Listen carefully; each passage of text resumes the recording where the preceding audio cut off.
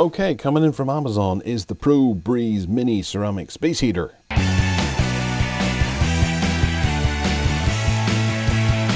So with the uh, with the impending doom of the country um, being thrown into very cold weather, I've decided to have a look at a little electronic based or electrical based space heater. You plug this into the mains and it'll heat your room quite quickly, provided it's not like a, a Royal Albert Hall or something like that.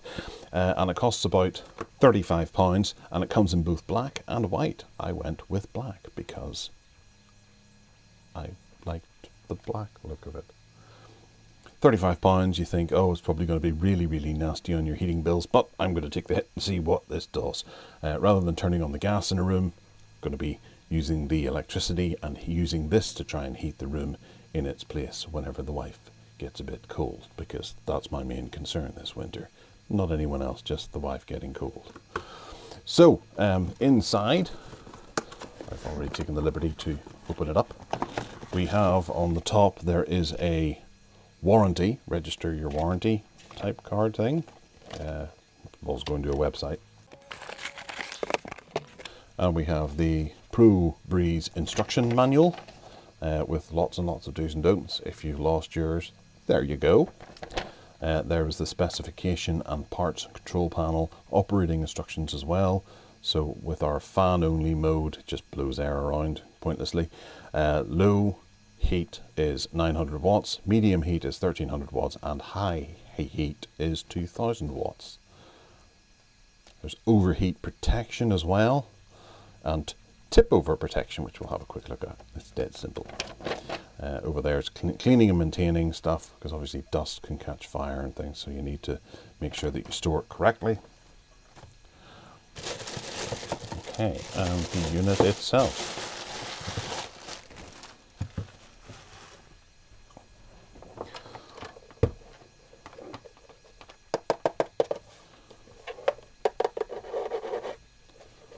Okay, so this is all sort of cased plastic. It's it's, it's okay. It's fine. It's fairly strong plastic. Um, I wouldn't drop it too many times, but you know it, it works. And that's obviously metal alloy of some type, painted black. Then around the back here we have this fan that uh, sucks in air and then there's some ceramic heated discs in behind there that heat up and that will blow the air through. Uh, on the top we have minimum and maximum, uh, fairly decent controls. Sound fairly chunky, there seems to be a, a, notification light there to let you know that it's on. I suppose if they're hearing impaired they might not be able to hear it blowing and then uh, do not probably cover or something like that. Do not put paper on it or something. Who knows? Or do not set on paper. That would be useful. Uh, there's a, a cable. It's a little more than two meters long. On the bottom here there is the auto switch off so that if you knock it over it'll automatically switch off. So it doesn't end up like that and burn your house down there's a wee handle at the back there for picking it up, so you don't have to pick it up by anywhere else. It's not the easiest handle to use, and it could quite easily slip. Uh, you can see that it's it's kind of flush, so there's no actual grippy part for you to get a good grip on it. Um, if you are picking it up and it's still plugged in, or you step on the cable, you could pull it away from your hand. So that's not great. I would prefer just a, a lip to come down to give you just that little bit extra of grip or perhaps even just a handle across there. That would have been nice. So we'll plug her in and see what happens. Okay, so there it is plugged in. Obviously we need to turn it on. It's quite loud. Obviously that's just fan mode. We have it on max. And if we just feels like fairly cool air pushing through and we turn it to one still noisy. And there's some hot air coming through now. Feel a bit of a cool air here, but it is warm over here.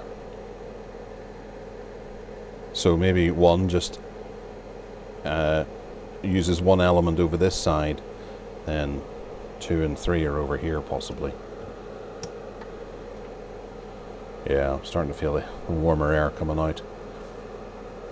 And there's that nice kind of factory warmth smell coming out. And then turning it up to three. Oh! it's hot! I'm going to melt my camera actually.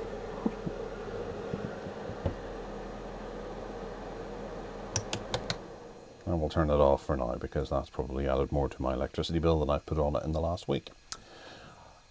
But that's the one thing that I'm hoping is different here in that this will be a bit cheaper on the electricity. Now I do have an electricity tester kit in the house that I'm going to hook this up to and see how many units that it seems to be using. Yeah, this is hot after that little initial blow. Uh, but the plastic at the side is cool. So uh, yeah, we'll have to get it in and have a look and see how well it does. Okay, so we've had this in the house for about two weeks and I've been using this to monitor the energy. I haven't been completely successful because every time I try to record readings on this, I find out that my wife has maybe gone and used it for 20 minutes or something like that.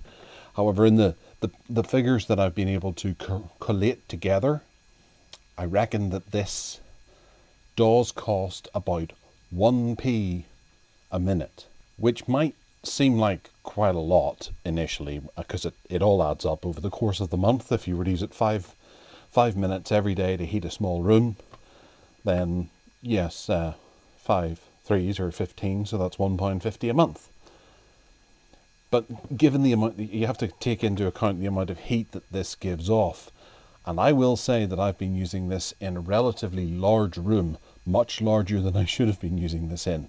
I used it in a very small room um, twice, and it heated that room within about three minutes.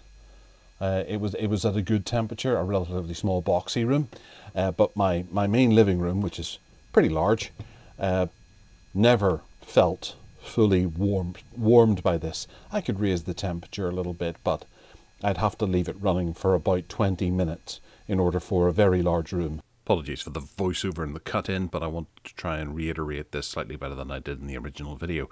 This is a 2000 watt heater, which means it's taking 2000 watts of energy and turning it into heat and due to convection that will fill your room essentially uh, because energy expands heat expands uh, getting a larger bigger one than this that is still 2000 watts is going to be just as effective as this little unit here the only thing about the price difference would be that this is a smaller unit and doesn't have certain things like uh, like a proper thermostat to be able to set a particular temperature, oscillation, you know, rotation and things like that, and other luxury features that you would find in more expensive models. Um, but I will say that there are some real problems, and this is a big problem. I dropped it the the the day that I did the first part of this unboxing. I took it down to show it to my wife and it slipped out of my hand when I was standing in her office showing it to her. It landed on a rug and it was fine. But still, that shouldn't have happened. So you do have to kind of carry it like that with your thumb here and your fingers in there.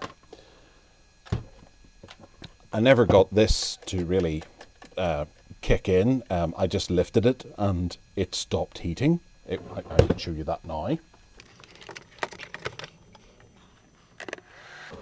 Got that on max, got that on three, and for the purposes of it, that's about how loud it is. It Doesn't really help, it doesn't really paint much of a picture. It's not the loudest in the world, but it's still loud enough that this fan does make a, a decent amount of sound. But if you lift it, dead simple.